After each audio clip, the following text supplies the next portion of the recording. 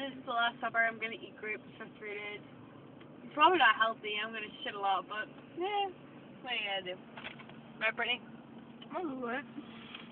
You're not doing it? No. Why are you Healthy though. You're skinny. I wish I was skinny. I will be. After I eat grapes for three days. You have to clean the toilet That again. Try Oh no, I did it yesterday. Boom! I'm not cleaning the toilet again. Brittany decided to tape.